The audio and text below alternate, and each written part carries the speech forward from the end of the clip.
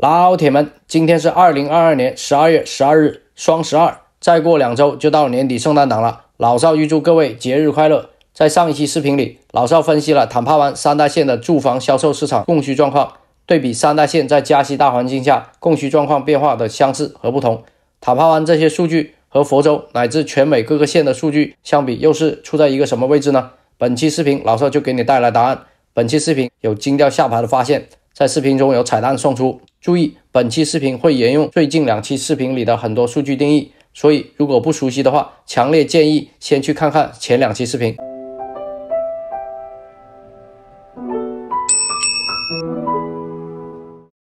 这里我汇总了全美三千多个县2017年1月至2022年11月的数据，把2022年最新的11月数据和正常年份的11月数据做对比。这里正常年份定义为2017至2019，算出差异百分比。反映出当前市场和正常年份的市场还相差有多远。按照差异百分比从小到大进行排序，并划分为十个等分区间，这样能看出坦帕湾以及全美各个县在哪个区间的具体位置。这里注意一点，在三千多个县当中，有一千个左右的县正常年份基准数据有或多或少的缺失，所以我把这些县剔出，不做比较。这里我们还是从供给、需求以及人口增长方面做对比。首先来看看供给方面 active listing 的状况。这个表格总结了全美2022年11月 active listing 和其正常年份11月基准值的差异百分比。负数百分比表明库存低于正常年份基准值，正数表明库存高于正常年份基准值。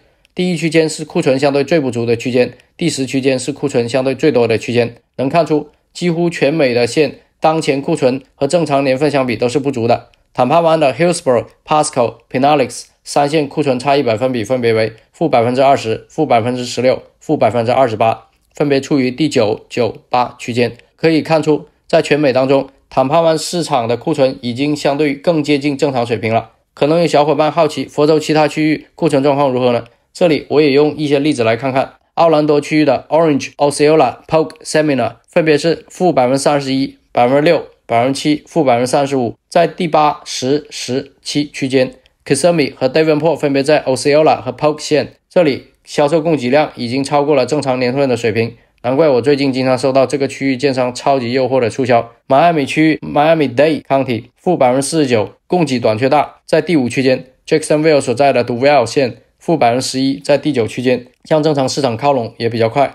这里我还统计出每一个区间里出现的县数量最多的州，能看出德州很多县在这个区间。这里注意，第十区间差异百分比的上限是超过了正百分之一百，这说明这个区间里有一部分县库存跟正常年份基准值相比翻倍了。这里有四个县有这种情况：Idaho 的 Jane County、Oklahoma 的 McCurtain County、Texas 的 Hunt County、Utah 的 j u w a County。为了更直观地体现第一区间和第十区间的县库存状况上的不同，我们这里分别各取一个县：VA 的 James City County 和 Texas 的 Hunt County。他们的每月 active 数量曲线并排放在一起，能看出 James City 2022年这条曲线离正常年份曲线还很远，表明库存远远的不足。然而 Hunt County 的2022年曲线已经远远超过了正常年份的幅度，表明库存远超正常水平。我们再来看看需求方面 pending 的状况。这个表格汇总了今年十一月份 pending 数目和正常年份十一月份基准值的差异百分比。负数表明需求比正常年份同期低，正数表明需求比正常年份同期高。第一区间是需求相对最低的，第四区间是相对最高的。坦帕湾的 Hillsborough、Pasco、Pinellas 县需求差异百分比分别是负百分之二十二、百分之十二、负百分之二十八，分别在第三、六、二区间。Hillsborough 和 Pinellas 需求已经低于正常水平，被加息明显抑制。这两县和 Pasco 在需求方面的区别原因，我在上期视频里讲过。我们同样来看看奥兰多区域。Orange、Osceola、Polk、Seminole 分别是负百分之二十九、百分之十六、百分之二十、负百分之三十一。Osceola 和 Polk 县需求比较强劲。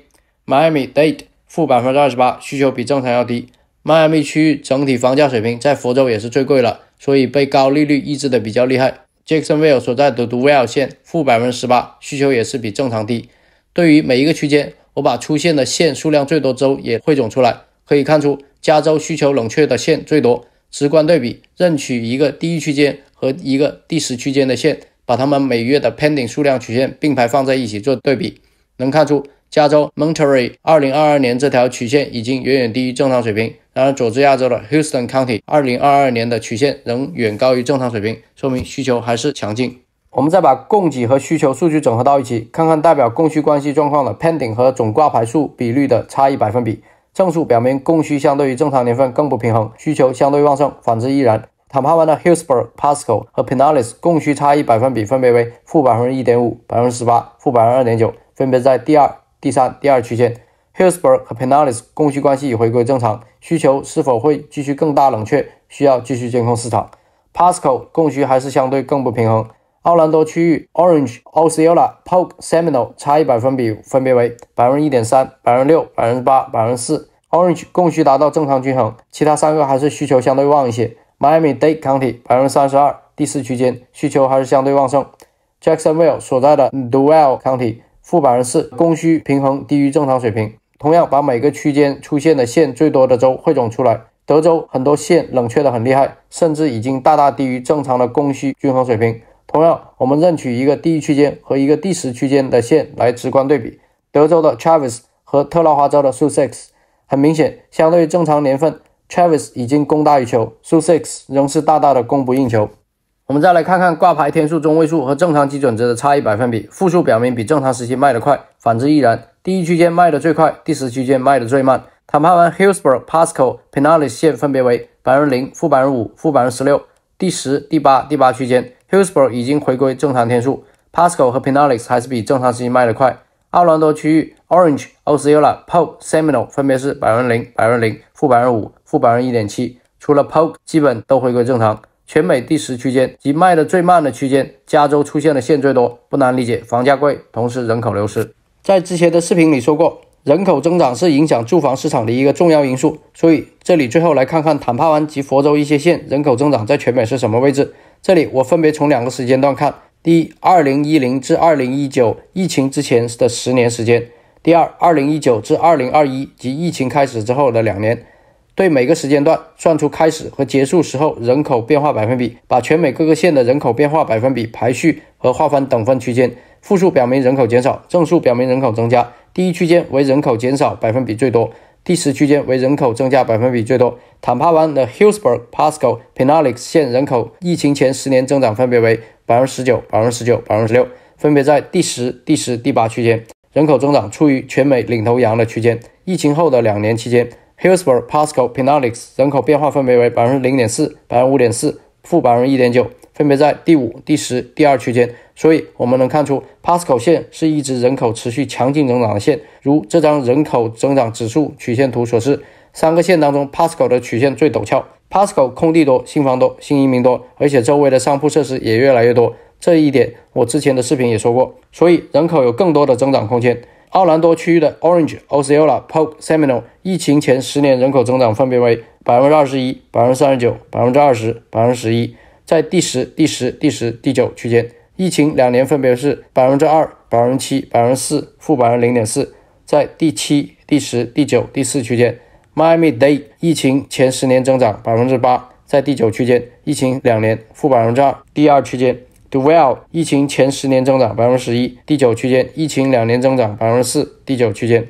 综合这些跟全美横向对比的数据看，对于当前市场能得出这样的结论：相对于佛州其他地区，坦帕湾供需状况各有不同。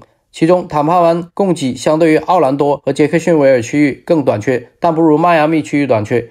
需求上来说，和奥兰多相似，高于和低于正常年份的都有。迈阿密供需关系最不平衡。相对于全美大部分地区，坦帕湾及佛州的这些县供需关系更接近正常水平。人口增长方面，佛州的几个重要的区域基本都是处于全美领头羊的位置。哎，是不是？老同学一场，好看才跟你分享。不知道小伙伴们有没有注意到，在分析需求对比数据时，第十区间的最大值能把人下巴惊掉，差异百分比值为百分之两万多。意味着需求比正常年份翻了两百多倍，什么情况？觉得是不是有数据错误？我出于好奇，随机看了一个在这个区间的县——密西根州的 Kent County，该县人口持续稳定增长。查到人口最多的城市 Grand Rapids 这个城市谷歌上查该城市号称全球生产办公家具的领头羊，然后在 Zillow 上搜了一下，满地的老房子，但是随便搜一搜，都是挂出来没几天就上百个 safe 的房子，并且感觉不少房子价格都不贵，而且似乎也不用加价，就是超级老，但是租金也不低，感觉租售比不错。原来如此，有意思，算是老邵本期视频送给小伙伴们的一个小彩蛋吧。希望有当地的 agent 来介绍介绍这个区域。这是本期的所有内容。老邵看房频道之后将继续深入浅出的带大家用客观的统计分析及统计建模方法，从各个角度和影响因子去研究市场，基于坦帕湾，并发现更多的机会。如果你喜欢我的视频，别忘了点赞、转发并订阅我的频道。我们下期见，拜。